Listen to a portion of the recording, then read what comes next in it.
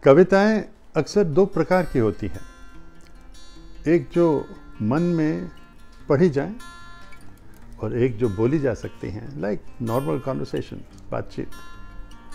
मेरे मित्र प्रियमवदा रस्तोगी ने एक ऐसी ही कविता लिखी जो मेरे दिल को छू गई। और मैं आपको सुनाना चाहता हूँ। कविता एक जगह स्टॉकहोम की याद में है। Stockholm as you know is the capital of Sweden जिसमें कई द्वीप हैं मिनी ब्रिजेस जो समुंदर को पार करते हैं दी बॉल्टिक सी बहुत ही खूबसूरत जगह है।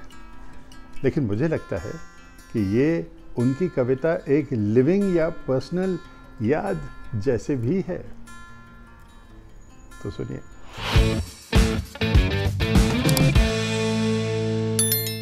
ज़िंदगी के सफ़र में कौन भला साथ निभाता है? कल तुम भी चले जाओगे साथ छोड़कर।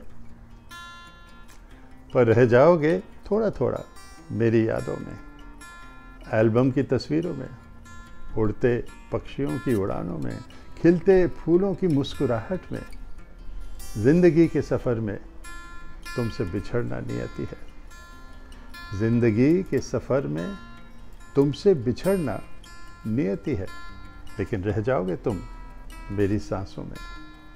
सुने अनसुने गीतों की धुन में, रुमझुम करती बारिश की बूंदों में, मंदिर मस्जिद से आती पाक आवाज़ों में।